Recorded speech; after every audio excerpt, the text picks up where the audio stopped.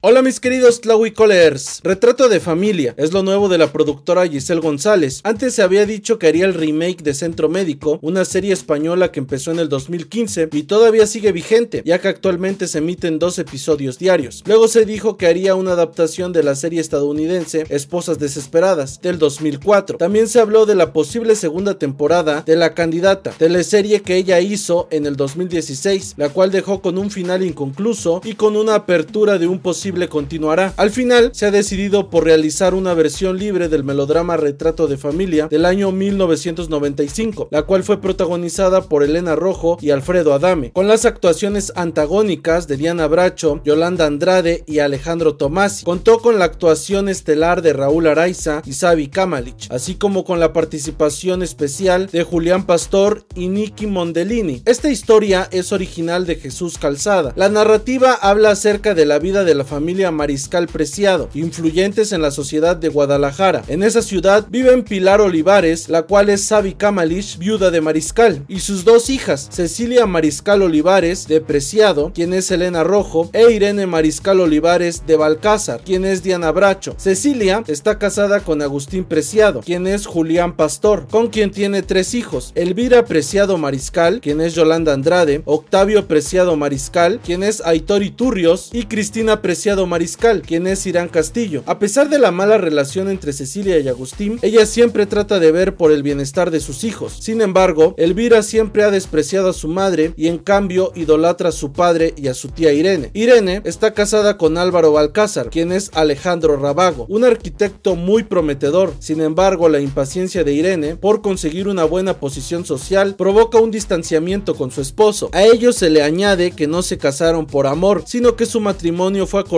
por su madre, doña Pilar Olivares, viuda de Mariscal. En realidad Irene siempre ha amado en secreto a Agustín y ambos son amantes desde hace muchos años. Tiempo más tarde y después de varios años, Cecilia se da cuenta de la traición de Agustín y entonces le pide el divorcio. Al divorciarse, él abandona el hogar familiar. Elvira se ha convertido en la peor enemiga de su madre y es aliada de su tía. Madre e hija se distancian aún más cuando ambas se enamoran del mismo hombre, un joven doctor llamado Esteban Acuña Quien es Alfredo Adame, el cual llega a sus vidas dos años después del divorcio de Cecilia. Elvira se obsesiona con Esteban y aún más cuando este le confiesa que ama a su madre siendo 14 años menor que ella. Esa obsesión la lleva a dejar a Diego Corona Rufo, quien es Raúl Araiza, su novio de toda la vida. Por otro lado, Agustín acude a la clínica de Esteban por graves problemas de salud, pero acaba por fallecer. Elvira cree erróneamente que Esteban y Cecilia asesinaron a su padre y entonces iniciará una venganza en contra de su propia madre y el hombre por el que sentía un amor malsano. Este melodrama es de corte clásico, el cual describe con una crudeza los amores, las pasiones, la envidia, la codicia, el amor malsano, la traición, la venganza, los trastornos mentales a los que se puede llegar por una obsesión. Además nos muestra que no todo es miel sobre hojuelas cuando se pertenece a un adinerado clan de la sociedad. Sin duda una historia que tiene de todo y muy adelantada a su época, porque nos metió en un un ambiente que para muchos es inmoral, obsceno y muy demente. El pensar que una hija puede estar con el mismo hombre en donde su madre dejó su esencia es muy impúdico. Aparte de todo contó con actuaciones magistrales. Y para esta nueva versión, Gisela al parecer quiere repetir mancuerna con Silvia Navarro, ya que ella comenta, para mí Silvia es una de mis favoritas, si ella aceptara estaría perfecto, ya sería mi tercera telenovela junto a ella. Esperemos muy pronto ella acepte. Para el rol masculino se habla de Horacio Pancheri y será una adaptación corta de 70 capítulos e iniciará los castings en el mes de abril, ya que en mayo piensan iniciar grabaciones para estar al aire en octubre cuando finalice la aún no estrenada Comandante Bonita. Dime qué te parece que hagan un remake de este gran clásico. ¿Te gusta la idea? ¿Y a quiénes quieres como protagonistas? Cuéntame tu opinión en los comentarios. Y antes de despedirme, no te olvides activar la campanita de notificaciones para que te avise cuando yo suba nuevo video y estés al pendiente de tus telenovelas las y series favoritas que se empiezan a grabar durante este año 2018. Yo fui Tlahuicol el Tlaxcalteca. No te olvides compartir este video, darle me gusta y comentarlo. Y visita estos dos videos que te dejo aquí en la pantalla. También puedes seguirme en todas mis redes sociales para que te mantengas informado y actualizado de todas las noticias que subo diariamente. Hasta luego.